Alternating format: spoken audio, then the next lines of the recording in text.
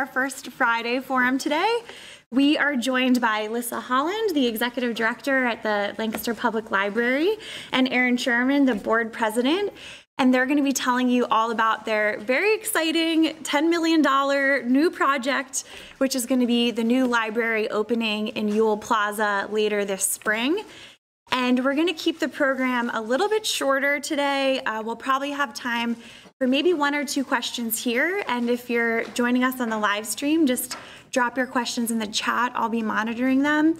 Um, but we're going to finish up a little early so that we can invite all of you to actually walk over to Ewell Plaza with us and join us for a hard hat tour of the new library I've heard construction is well underway and we're going to see some exciting stuff over there. So I hope you can all join us. Um, there's a lot of action in Ewell Plaza today because they are trying to finish up Ewell Plaza uh, later this month. So we'll get a kind of an update on what's going on over there and get to check out the library. So excited for that. And um, before I hand over the program, I just want to thank our sponsors who make the First Friday Forums possible, which is Rodgers and Associates, been very generous supporters, and the Ware Center for hosting us. So thank you all so much for being here, and I'm going to hand it over to you, Jim. Thank you.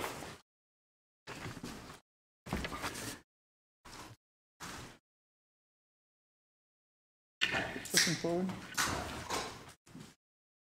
I was asked at the beginning if I know how to use one of these. I said forward and backward, right? And, oh, there we go. Okay.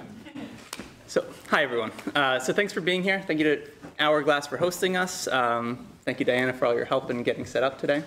Um, as Diana mentioned, my name is Aaron Sherman. I'm the board chair of the Lancaster Public Library. I've been a member of the board since 2016. Um, it has been a a very long road to get to where we are right now, but we are really thrilled to be here to tell you what we're up to um, and what things are going to look like as we turn the page to our next chapter.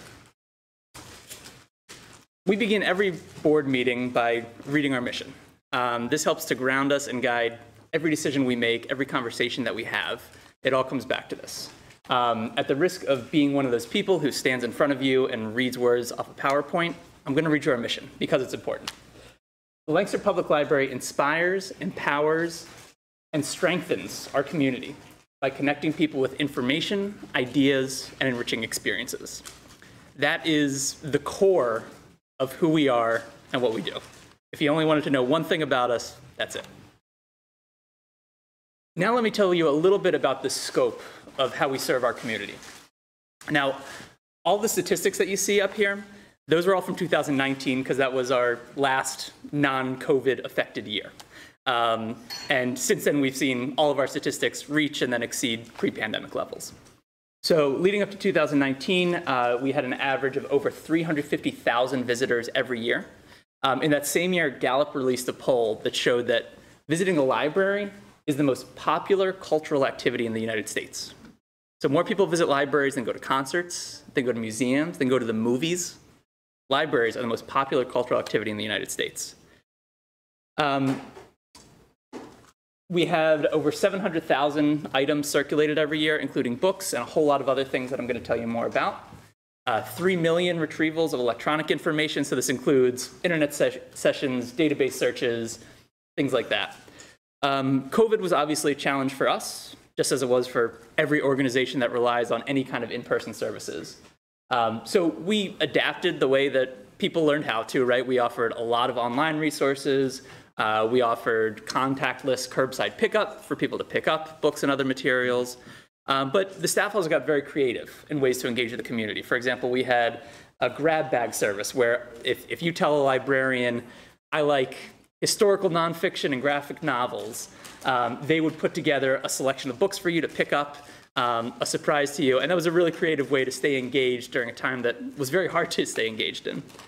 Um, COVID was also a good opportunity for us to kind of rethink the design of our library because we were sort of well along the path of designing our new building when COVID hit and taught us all kinds of lessons that we never could have known in terms of what we need in a building to serve the future.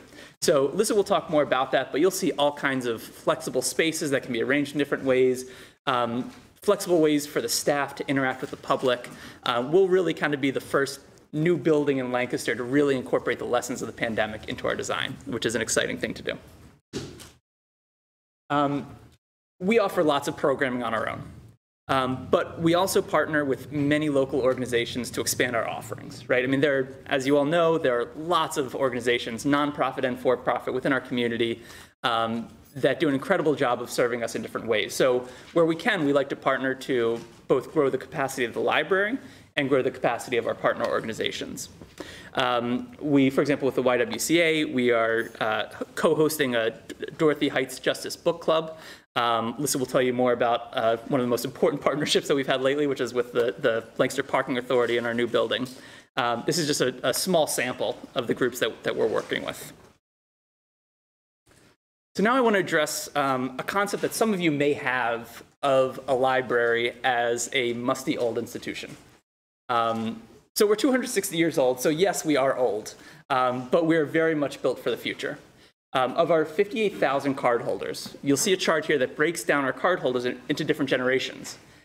And you'll notice that the largest contingent of cardholders by age are millennials. Then you add in Gen Z, which is those who are about 10 to 25 year old, years old right now. Millennials and Gen Z together make up 56% of our cardholders, more than half. So Lancaster Public Library is a dynamic organization. We serve a wide range of people from all backgrounds and all ages in many different ways. Um, and clearly, the demand for what we do is there now and will remain into the future. Um, when you think of libraries, you probably think of books. We have a lot of those. Um, well, we also have tons of other resources that we offer. Um, the Duke Street Business Center helps budding entrepreneurs get the resources they need to start new businesses. Um, our Autism Resource Center is used by lots of families all across Lancaster County to get resources that they can't find elsewhere. Um, we lease out Wi-Fi hotspot devices, all kinds of electronic services like uh, e-books, audiobooks, um, streaming services. We have programming for both young and old. Um, and we have all kinds of other items in our collection like American Girl dolls, museum passes, musical instruments, lawn games. Um, so it, it is definitely an, an organization that is built to, as we say in our mission, connect people with information, ideas, and enriching experiences. It all goes back to that.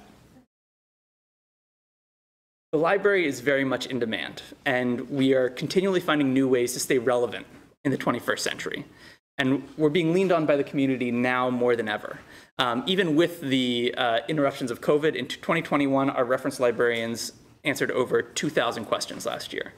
And the more information that's available, the more critical their services become. And I mean, we live in the information age, right?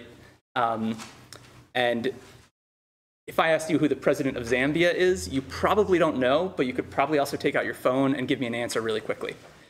The role of a librarian in an age like this is to search and vet and curate information.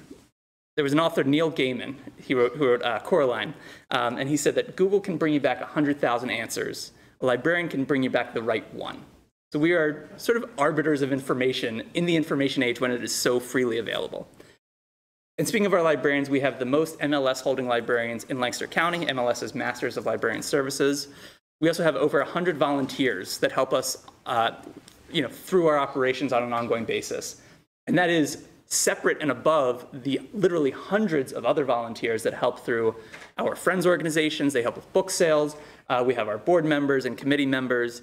Um, this is an organization that people really do show up for in a real way. It's kind of hard to really understand Lancaster Public Library without understanding our funding model. So we raise, our, our budget um, is over 63% library generated. So that means that almost two thirds of our budget comes from fundraising mostly, as well as fines and fees. In the state of Pennsylvania, there are two libraries that consistently raise more funds than us Philadelphia and Pittsburgh. We're, no, we're number three behind them. Um, so, yeah, that's great, right? We raise all that money. Uh, but then it raises the question of why do you have to raise all that money, right? Um, glad you asked. so, this next chart, this shows um, average library funding nationwide. Um, so this, this was uh, from a few years ago. So if you look across this country, the vast majority of libraries get the vast majority of their funding from local government. So average uh, national statistic is that a library receives $37.62 from their local government per person in their service area per year. So if a library has a service area with a population of $100,000, on average, they're going to get $3.7 million from their local government every year to do that. While the national average is $37.62, Lancaster Public Library receives $1.49 from local government per capita per year. So we are receiving roughly 4 cents on the dollar of the national average from our local government. Um, statewide, the percentage gap isn't, isn't quite so severe, but it's really that local funding that forms the backbone um, for libraries across the country, and that is really the reason that we need to be raising and generating the kind of money that we do. This next chart here that you see, this is specific to the roughly 450 public libraries within Pennsylvania and where Lancaster Public Library ranks um, in a number of statistics. So we are number four in terms of library generated revenue. I mentioned Philly and Pittsburgh are the only libraries that raise more than us. York is technically included in this because they serve the entire school district there, um, but that's no longer the case. Um, we are number eight in terms of all the libraries in Pennsylvania. We have the eighth largest service area. Then if you look down towards the bottom of the slide, um, that's where things get a little bit bleak. Um, of the 450 libraries in Pennsylvania, we are ranked number 429 in the number of staff that we have to serve our population. Of the 450 libraries in Pennsylvania, we are ranked 439th in the local funding that we receive from our government here. So these create a lot of challenges. Um, Lissa and her staff, they do an unbelievable job of serving the community with very limited resources. Um, but without a doubt, every conversation we have, every decision we make is really based on what our funding looks like. Um, so we like to often fantasize about what we could be doing if we had a reliable funding stream. Um, but we are very committed to continuing to serve the community. We've done so for 260 years. Um, we have a lot of exciting things coming up um, to expand our ability to serve the community. Um, so that's kind of an overview of who we are as a library, how we serve this community, um, and what our funding model looks like. So now I'm going to turn it over to Lissa to talk a little bit about um, our future home and modern libraries in general. Can I ask a question? Yes. And When you refer to local funding, are they typically getting that from like hyper-local municipality level or county level? What's the local definition? terms of like the nationwide averages? Or even in the state of Pennsylvania, comparatively to other communities? Yeah, so it, it it really varies. Um, you know, the sort of the ideal funding model um, is that a library is essentially an arm of the government, right? And they, they're fully funded that way. So in some cases, it is a city. In some cases, it's a county. Um, in Pennsylvania, the majority of our libraries are not funded that way. Um, but nationwide, it's it, it really runs. Sorry. No, not at all. Any other questions at this point? Thank you. Well, as Diane had said, and Aaron, my name is Lissa Holland. I'm the Executive Director of Lancaster Public Library. And I too want to reiterate what Aaron said, to thank the Hourglass Foundation and Ware for hosting us today so that we can share our excitement about our new home, which is only a block away.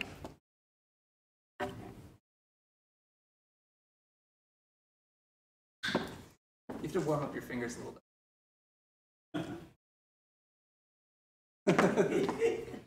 There we go. As I'm sure all of you know, this is a picture of our present building. The cornerstone has the date of 1953, and we had a ribbon cutting in 1954. This building has served us well. We have enjoyed being in it, but it does not enable us to be a modern library. It doesn't meet those needs. And how could it? In the 70 years that we have been in this building, public libraries have changed drastically. They are not an institution that has its own little box and that you stay in it. It's a much more vibrant, flexible area. And in fact, we were planning, in the midst of planning, how are we going to renovate this building? What is feasible? Who will support it? What should we do?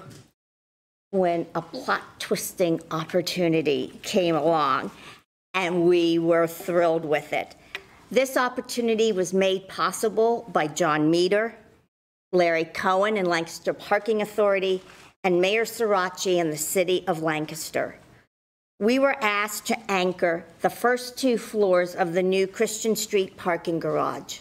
We were thrilled with this because it would give us the ability to design the space, a blank, empty box space, and to make, meet our needs of what a modern library should be. Plus, we were excited that for the first time in a long while, we would be tenants, putting all of our focus on serving the community and not having the responsibility of being an owner of a building. Literally, we are moving a block, but we think it's miles away because we really believe that our new home will be the heart of the city, where we can interact more closely with other organizations to partner together to better serve this community. In fact, our very first event is coming next month. It will be held in Ewell Plaza long before we even move there. We will have, um, we are teaming with the city to present children's programming in conjunction with the Hispanic Heritage Month.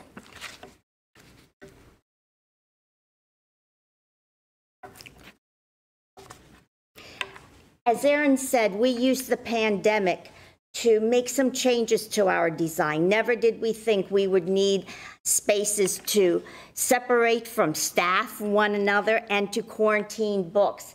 This rendering was pre-pandemic when we had our circulation desk tucked under the steps and the um, business center to the right of it. Since then, we've made some changes.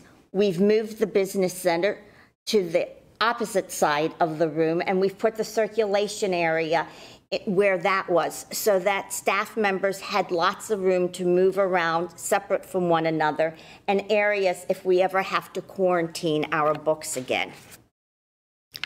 Today's modern library is open and flexible, serving as a community hub where people can come and gather. Yes, it's still a place where you can come and borrow materials, conduct research, but today's public library is so much more.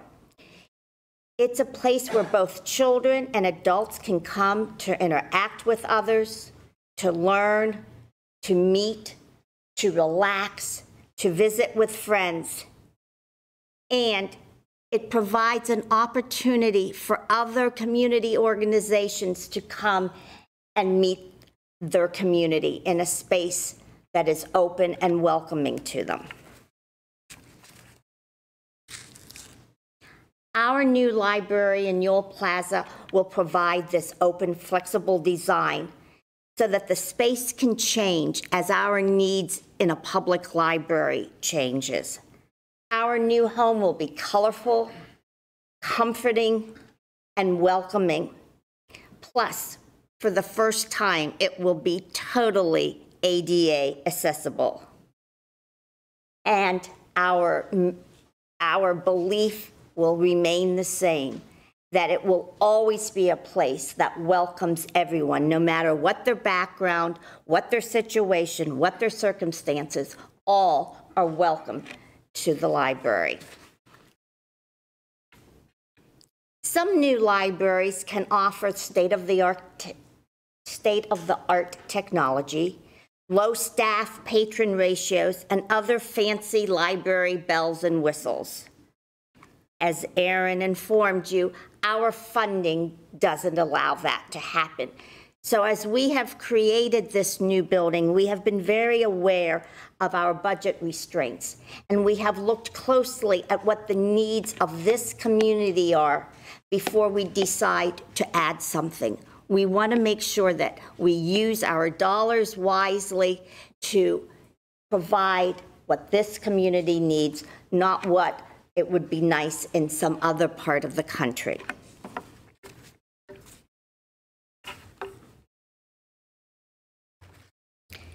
Our first floor will feature the Business and Reference Center. We're putting them together so that we tear down barriers. People didn't feel comfortable coming into our business center on Duke Street because they thought that they had to be an entrepreneur. We don't want people to feel that way. Business our business center is really just a different arm of reference work. So we thought we would combine them. It will be homed in a glass space. We will have four study rooms, a double bank of public computers, along with some empty desktops so that people can sit there to use their own devices if they so desire. We also will have comfortable seating. I will say there's not a comfortable chair in our library right now. So anything is going to be more comfortable, but it's going to be comfortable, and we will have comfortable study areas. And the two parking garages, the two elevators in the parking garage will open right into the first floor of the library's lobby when we are open. So you don't even have to go out into the rain to come into the library. We also will provide outside lockers where people can pick up their holds 24 7. Even when the library is not closed, they will be able to obtain their materials. And the first floor will have two community spaces, a community room with a kitchenette and the boardroom. They can be combined to be one large space, or they can be separated with a dividing wall. Each room will have state-of-the-art AV equipment in it and will be available for organizations throughout the community to use. The second floor will be home to our children's library with its beloved reading circle. If you are aware of the children's room now, we have a huge circle where children can play, crawl on. We have some books around there. I promise we're not taking the old grubby dirty one. We are redesigning it and putting a new one in. But when we surveyed our um, patrons and asked what they would want in a new library, there were two things that was consistent. The reading circle had to be in it and our grandfather clock. So even in this modern building, we have found a home for our grandfather clock.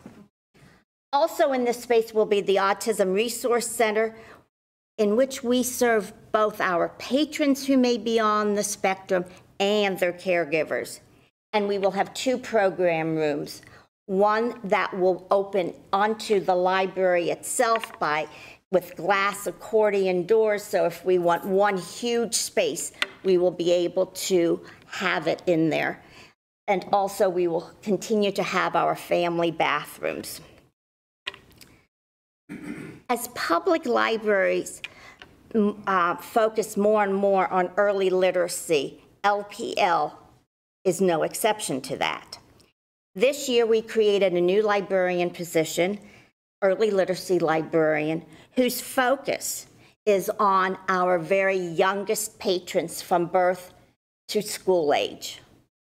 We're very excited to have her on board with us, but don't worry, adults. We have considered you in building this part of the library too. We will have a stroller parking area outside. So if you bring children or grandchildren in a stroller, you can safely park it and come into the library. Opposite our children's library will be our teen library, which will mirror the children's library. I am most excited about the space because it is the very first time in Lancaster Public Library's long history that we will have a dedicated space just for our tweens and teens. It will uh, contain two study rooms that they can use and furniture that is made for lounging. In between the two different libraries is an open space with wide open, uh, it's wide open reading space with comfortable seating in front of a bank of windows leading to our terrace. And yes, you heard right, terrace. We are excited to say that we will have a terrace overlooking Ewell Plaza where patrons can go out to relax and staff can hold program out on it. In addition to the second, on the second floor, we'll have an additional smaller meeting program room as well as our passport processing room.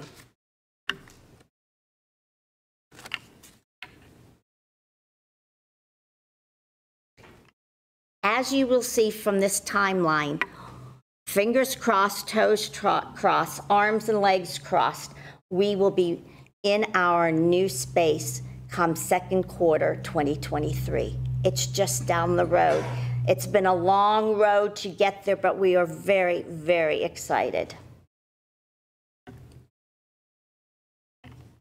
And we are well on our way to meeting our $10 million capital campaign goal, having raised over $8 million to date.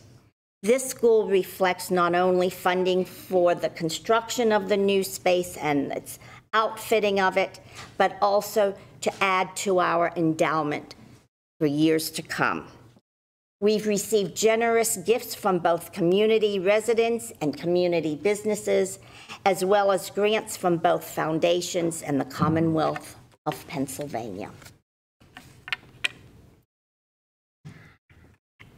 I am sure you cannot get as excited as I am about a new library, but I hope you will join us when it's time to cut the ribbon and come in. It will be a fabulous space for everyone to come, relax, enjoy, borrow a book, watch Ewell Plaza from a high. We hope that you will join us when that day comes. Thank you. Thank you. We can go ahead and take probably one or two questions from the group here, and then just know if you're joining us on the tour, there'll be lots of opportunities to ask things along the way. So does anyone have a question for Aaron or Lissa? I'm just going to ask you if you talk in here, then the folks on the live stream can hear you as well. Thank you. How do you interact with the satellite, with Mount Joy and Elizabethtown and Manheim Township libraries? They are all independent libraries. Are they? Lancaster is a very unique situation in that there are 14 different libraries in the county. We all have our own budgets, our own boards. We are tied together through the library system of Lancaster County. They do back office work, but we are all very separate. Now, in our case, we do have a branch in Mountville, so we consider ourselves as one. They're part of all of our um, figures when we are doing programming and budgeting and all.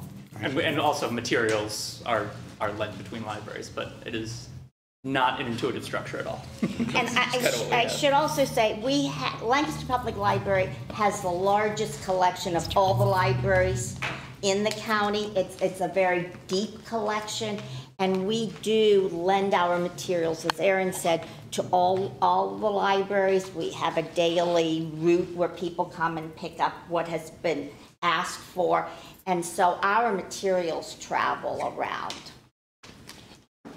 Um, I'll run over here to Kevin.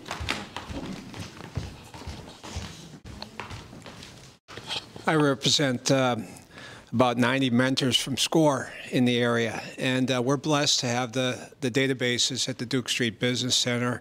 We, uh, we're up to about 80 new clients a month, uh, entrepreneurs or in, or in business clients that need help, and we direct every one of them to your uh, Duke Street Center to, uh, to build their business plan or a plan to get a loan or whatnot. It's, it's a resource that we have at SCORE that not every chapter in the country has. There's 300 chapters in SCORE, and we're blessed to have it. So uh, thank you, and, and what you're doing for that uh, business center looks great. Uh, my question is, is there any enhancements to those four databases planned? Because those are really invaluable, but if there's a way to continue to evolve those, that would be great. It's a basis of funding. If we can find a more steady um, funding base for them, we certainly will do them. It's really hard. We have one um, database that um, they won't even give us numbers on how many people use it. So it's really hard to write a big check. We continue to do it. We will rethink it. But any suggestions that you have, or if there's something else, we, we also have a- a really new reference staff right now. We've, uh, we've had some change, that people have left to go to other positions. And so we're changing that, that it's not just one of the reference librarians, it's all of them that will be trained and be versed on those databases so that there's always somebody in the library for one of your um, students to come and talk with. But we, you know, I would love to, now that we, it took us a while to get our second one on board, but now that he's there, we would love to sit down and brainstorm. Thank you. I'm gonna pass it up to Mitch. I know we have to get going so we can visit the site, but I was just curious, how do you move a library to make sure all the books from the shelves go to the right location in the new It's space only a block away, so we are expecting to see all of you on moving day? on the, we hope it's February so that it can be in- during a snowstorm and we'll move one book. Now, we are, we are working with a moving company that has moved other libraries. They've moved the Millersville Library and several others, Hershey's Library. So they actually have built special um, crates like, so we will have somebody on one end taking them off the shelf and somebody on the other end that will put them up and put them on exactly as is, so they say. But but out of that $10 million budget, the, the moving is not an insignificant part of that. Um, It is, it is a, a big lift, without a doubt. All right, we'll take one more question here and then we'll walk and talk. There you go. So where are you at this point in terms of the funding needed and how and who would one connect with if their organization or individually want to contribute?